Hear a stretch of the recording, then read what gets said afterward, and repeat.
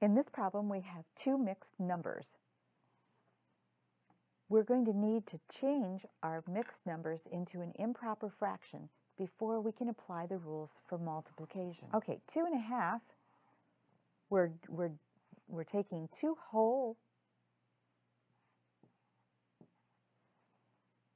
parts and making halves out of them, and then out of the last whole, we're, we're just using half of it.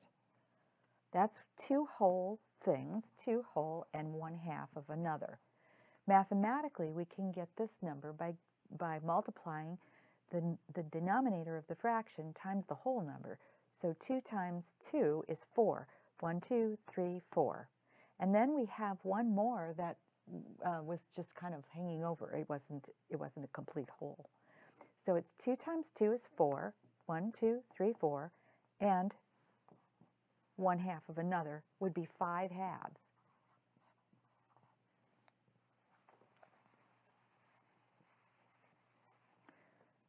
So this has been, this whole, this mixed number has successfully been changed to an improper fraction. Now we're going to change this one into an improper fraction. 3 times the whole number, we can get 3 thirds out of one whole thing, and we have 2 of another. 1, 2. So we have 5 thirds in this equation. So this turns into 5 halves, and this mixed number into to 5 thirds. At this point, we would want to check our diagonals to see if there was any way possible we could oh, simplify this before we do the multiplication. But unfortunately, there isn't. So we're going to take our numerators and multiply them. 5 times 5 is 25. And then multiply the denominators, would be 6. This is a, an improper fraction that we're going to rename as uh, in simpler terms. 25 divided by 6 is 4 because 4 times 6 is 24, and there's 1 remaining. So the answer to this mixed number multiplication would be 4 and 1 sixth.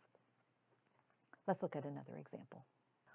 Our next problem, 3 and 1 third times 1 and 1 half. Two mixed numbers in this one. How many thirds can we get out of 3 whole? If we separate these into thirds, we would get 1, 2, 3, 4, 5, 6, 7, 8, 9, and we also had one to begin with. So this fraction gives us 10 thirds. Mathematically, we could go 3 times the whole number, 3 times 3 is 9, plus 1 more is 10. 1 and 1 half, we can get 2 halves out of the whole number, but we already have 1, so that would be 3. 2 times 1 is 2, plus 1 more is 3 halves. Check our diagonals to see if there's anything we can reduce here, simplify. The 3's will work. 3 goes into 3 once. 3 goes into this 3 once. And 10 and 2, they're both even numbers. 2 goes into itself one time. Use it again. 2 divides into 10 five times. Now we're going to multiply our numerators. We will get 5 and 1. Uh, any, any fraction that has a, a, uh, denominator of 1 means it's whole. So this further reduces to just plain We need five. to change our mixed numbers into improper fractions to start. Of 12 whole pies, if we divide them into halves, we can get 24 halves out of this much of it, and one more that we started for, with, 25 halves. 2 times 12 is 24 or 25 times.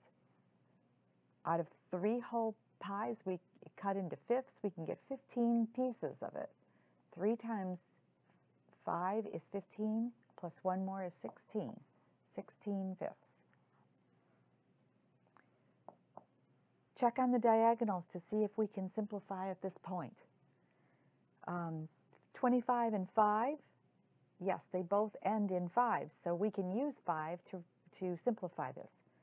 5 divides into 5 once, 5 divides into 25 five times. And on the other diagonal, we have 2 and 16.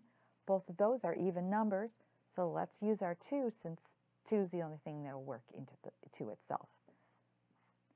2 divides into 8 to 16 8 times. Now we're going to multiply our numerators and multiply our denominators and simplify that fraction as 40. Next one. improper fractions for our mixed number. 8 times 5 is 40, plus 2 more is 42. We have 42 eighths here. How many sevenths can we get out of 5 whole things and 5 that we already had? Well, 7 times 5 is 35, and 5 more is 40. So we can get 40 sevenths out of that. Let's check the diagonals in a hurry on this one. We're just hoping. 8 and 40, both of those are even numbers. We could use a 2. But you could also use something larger if you recognize it. 8 times uh, 8 and 40 are both in the eighths line of multiplication. So 8 divides into itself once, and 8 divides into 45 times. 42 and 7, they're in the sevens line of math because they're not both even, they don't both end in a 0 or a 5. Twin, twin double digits, no. Uh, 3 and 9 are not going to divide into 7 at a glance, so we're not even going to try this. But 7 will work because it's in the 7's line. 7 divides into itself once. 7 divides into 42 six times because you know your multiplication tables. Multiply tops. 6 times 5 is 30. Multiply the divisors, 1. We now have 30 as our simplified fraction.